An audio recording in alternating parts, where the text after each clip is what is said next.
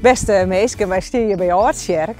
En in Oortjerk wordt eindelijk, na jarenlang ploeteren terug het dorp, kan ik eigenlijk wel zeggen, bouwd. Onkomende weekend zal uw wethouder haar handtekening zetten en een kinder start worden met het prachtige project Oortjerk vooruit. Waar op dit stuit ruimte is voor 23 wenten en waar ook de mogelijkheid is om u te breiden. Wij zijn echt grutsk voor Oortjerk dat er eindelijk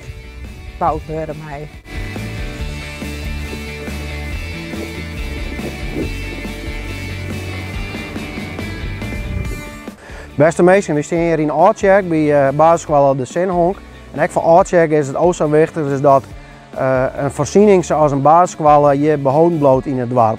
Daarnaast wil het CDA zich de, graag de komende jaren inzetten voor een moedingsplak voor de jeugd hier in Oortjerk. Zodat ik bij jaren bouwen kunnen aan hun toekomst. De toekomst van Oortjerk.